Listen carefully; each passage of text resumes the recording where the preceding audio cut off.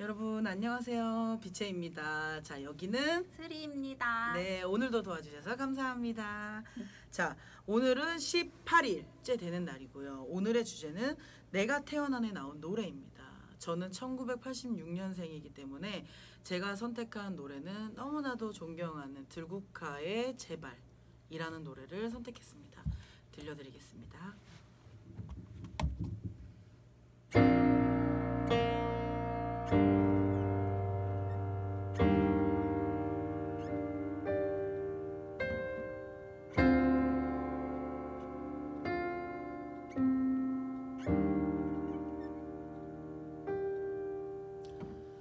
제발 그만해도 나는 너의 인형은 아니잖니. 너도 알잖니.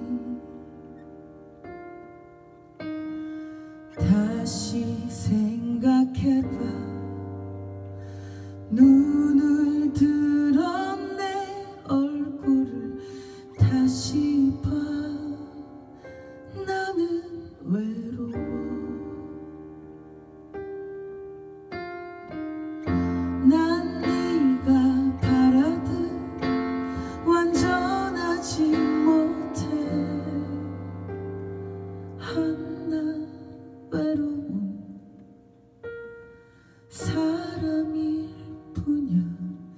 제발 숨 막혀 인연이 되긴 제발 목말라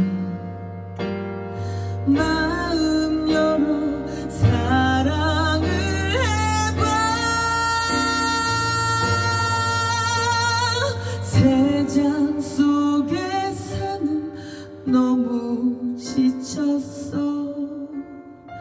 너도 알잖니. 다시 생각해봐. 처음 만난 그 거리를 걸어